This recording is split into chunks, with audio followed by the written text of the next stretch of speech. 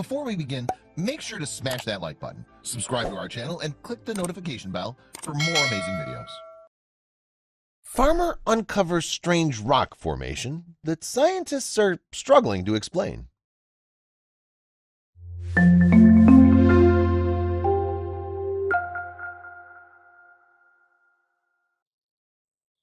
Finding an old hammer you lost 10 years ago would be surprising to anyone working land for a living. But in the case of Argentinian farmer Juan de Dios Sota, he stumbled across something even wilder. After noticing an unusually large lump jutting out of the earth, his life changed instantly. Soon enough, his farm was overrun with scientists just dying for a glimpse of his once-in-a-lifetime find. This certainly came as a surprise to Juan, as on the day in question, the humble farmer was simply bringing his cattle to pasture. With a recent drought having swept through the area, there was now more room than ever for his livestock to graze. Even so, Juan's cattle were particularly drawn to the riverbeds of the Vallimanca.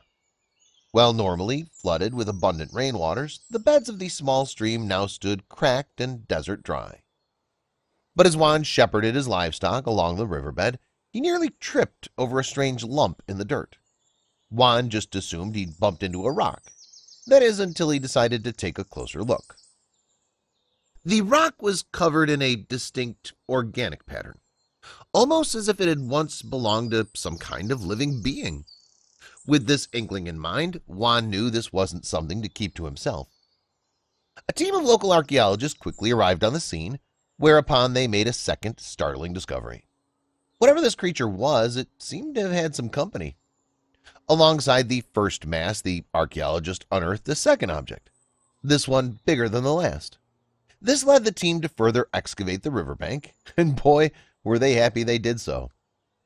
Four of the large shell-like objects emerged from the dirt, and at first sight the archaeologist couldn't help but feel that these strange masses belonged to a group of creatures some people even keep as pets. Tortoises.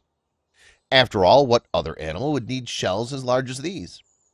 But upon further study, the archaeologists realized these enormous casings couldn't have belonged to any animal that walks the earth today, or even a thousand years ago. No, the researchers were certain these shells belonged to a group of glyptodons, prehistoric creatures that roamed South America some 30 million years ago. In fact, glyptodons are the ancestors of modern-day armadillos, though not quite as adorable. Glyptodons were enormous armored mammals the average of which stood 5 feet tall, 11 feet in length, and weighed upward of 2 tons. To put that into perspective, most of these creatures were roughly the size of a Volkswagen Beetle. Along with its thick, bony shell, Glyptodons also possessed heavily armored heads and tails that could be wielded as weapons. Unfortunately, these protective measures simply weren't enough. Glyptodons faced heavy predation from larger creatures, and even early humans hunted them to use their shells for shelter. By the beginning of the Holocene epoch, roughly 10,000 years ago, the last of the Glyptodons had gone extinct. But while shells like these had been unearthed in South America prior to Juan's discovery, very rarely were multiple Glyptodons found together. In that respect, finding four of them in one location was truly something for the history books. It's the first time there have been four animals like this in the same site, explained Pablo Messineo, one of the on-site archaeologists. Most of them were facing the same direction, like they were walking towards something. With that in mind, these creatures were clearly traveling together, almost like a prehistoric family. In fact, the archaeologist even surmised that these four glyptodons could have been a mother and father leading their young. Not only did this open up the possibility of a familial hierarchy existing amongst these creatures, but it also called into question whether sexual dimorphism played a role in their development. Given that the fossilized shells varied in size, it's very possible that gender determined how big a glyptodon could grow.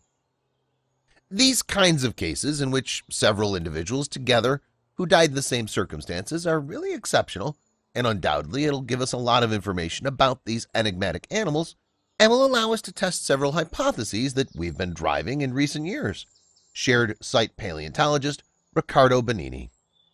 Benini and his team worked diligently to completely excavate the Glyptodon remains, as actually moving the thousand-pound shells will require another round of intense effort. But once the family of four is ready to roll, big plans have already been set for them. The Glyptodons will be transported to the Institute of Archaeological and Paleontological Investigations of the Pampa Quaternary for examination and DNA testing. Researchers hope that further study will reveal additional insight into their lives, including their sex, exact age, and cause of death. Please share this with your friends and family.